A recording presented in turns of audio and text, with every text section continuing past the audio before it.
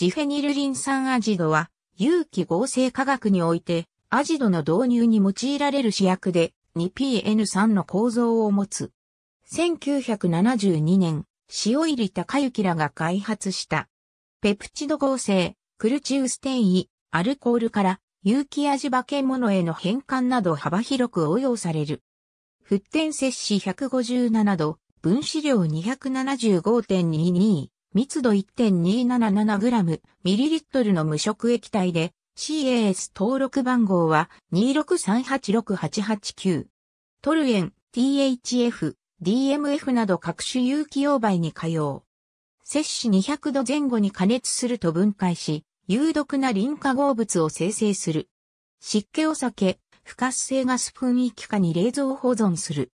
アジド化合物は一般に爆発性のあるものが多いが、ドパはアジドがリン原子の作用によって安定化されており、安全に取り扱うことができる。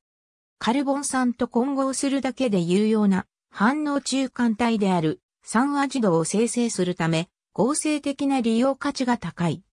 ドパはクロロリン酸とアジ化ナトリウムとの反応によって得られる。ドパの熱安定性は摂氏157度で蒸留できること、激しい窒素の発生が摂氏175度に温度が達するまで見られないことから示されている。酸アジドはアミンによって置換され、アミドとアジ化物イオンを生成する。このためカルボン酸成分、アミン成分、ドパを単に DMF などの溶媒抽出音で混合するだけで、アミド縮合が行える。ペプチド合成に用いてもラセミ化を起こしにくく、活性化が温和なので即差感、納期の保護も最小限で済む。複製生物は水栓のみで除去できる。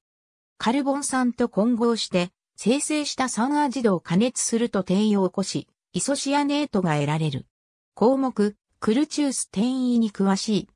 い。1級、または2級のアルコールを密の部反応の条件下、ドパで有機味化け物へ変換することができる。